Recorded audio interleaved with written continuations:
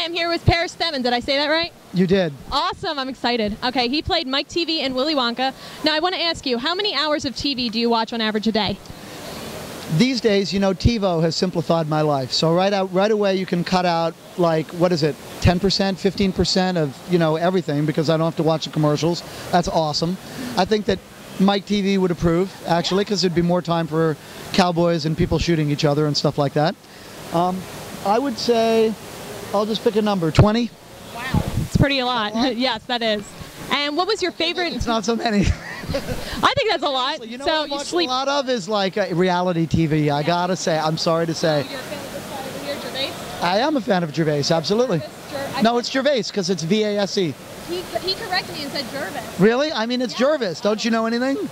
I don't know. I don't know. Well, I guess we're both uneducated with him. Clearly. Okay. Uh, no. So I've been watching uh, like uh, Survivor. I love, and then uh, uh, Amazing Race, and uh, even Celebrity Apprentice here and there. And my girlfriend is into So You Should, So You Think You Can Dance, and American Idol. Oh, yeah. So if you add that all up right there, that's a bunch. And then you know, besides that, my Jeopardy and my uh, oh uh, oh the Big Bang Theory. That would be a popular geek answer.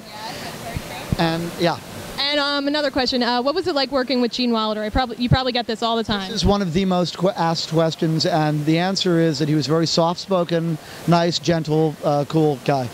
And um, the last question I got for you is: Have you met the kid that plays uh, Mike TV in the new version? And Jordan Fry. His name's Jordan Fry. I have not met him. Haven't met him at all. no, surprised because I would figure that they would want the kids to spend time with the original kids. You know, who's they?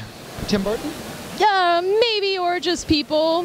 I don't know. People might, but the producers of that film wanted to completely separate the new film from the old film.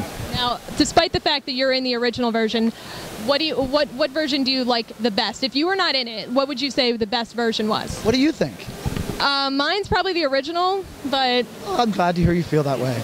Of course, and you were always, I told you this the first day I was here, you were always my favorite character, and I am always super sad when you get eliminated from the competition. And what did you tell me about Charlie, that what, what happened with him before? Oh, you're thinking about when I said that uh, uh, uh, the factory should have been mine. It should have been mine because Charlie bumped around the ceiling.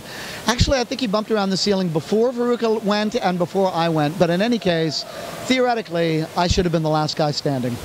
Very true. Thank you. survivor, if you prefer. Yes, yes. Okay, thank you so much for I almost called you Mike, but it's Paris Themmen. Oh, Everybody knows he is Mike, so.